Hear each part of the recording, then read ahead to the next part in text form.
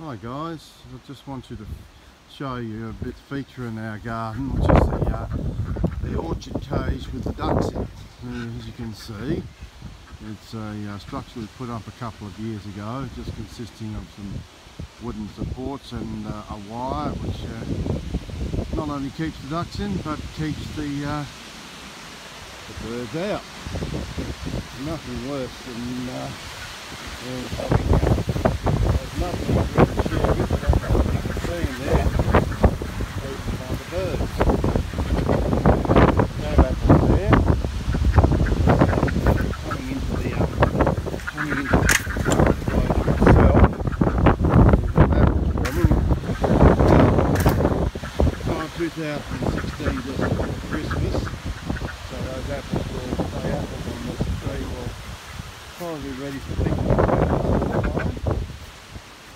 Coming over here we have got um, blueberries as you can see.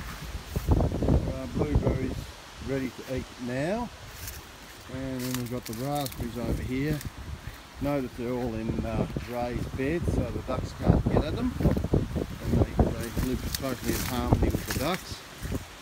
Anyway, the raspberries will be ready in about a month's time. We actually had a couple of them. There's another blueberry plant. And of course there's the strawberries again in raised bed. In the raised bed and for some funny reason they had a couple but they're pretty late this year and there's another another raised bed. And uh,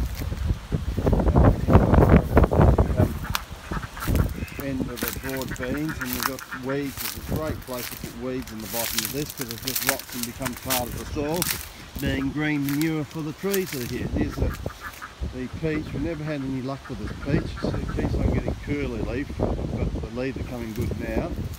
And uh, down the raspberries, which I had to um, put wire because that's a lower bed than the other other one. So anyway, and hey, lo and behold, there's the ducks going. There's the ducks through here. Anyway, I hope this video has enlightened you on. Um, on uh, setting up one of these in your own garden. Thank you. That's all. Bye.